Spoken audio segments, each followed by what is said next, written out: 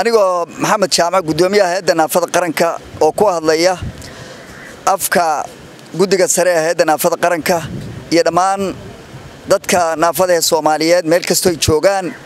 Waxaa maanta guul weyn u ah qaranka soomaaliyeed.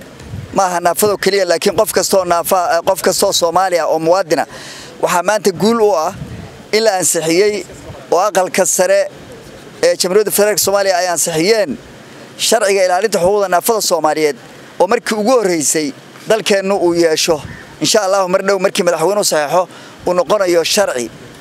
Marka sharcigan oo ay ku qoran tahay xuquuq fara badan oo runtii aanu lahayn qofka naafada wixii hadda ka horreeyey waxaan rabaa inaan si gaara ugu mahad celiyo guddiga xuquuqul insaanka ee aqalka sare oo ay guddoomiye ka tahay naciimo xasan xaaji oo runtii shaqo fiican soo qabtay sharciga tafatir badan ku sameeyey qodobo wax ka bedelay qodobona wax ku kordhiyey iyagoo xoojinaya qodobada u baahnaa in si gaara loo xoojiyo.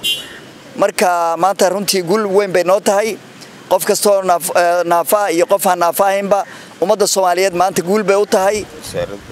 Waxaan rabaa sidoo kale inaan u mahad celiyo wasaaradda qoyska iyo xuquuqul insaanka oo soo qabatay shaqo wanaagsan oo ka soo shaqaysay dhowr sano la soo dhaafay ayay soo socotay broseeska shaqada laga qabanaya sharcigan wasaaradda la'aanteedna ma hirgaleen marka maanta guul bay noo tahay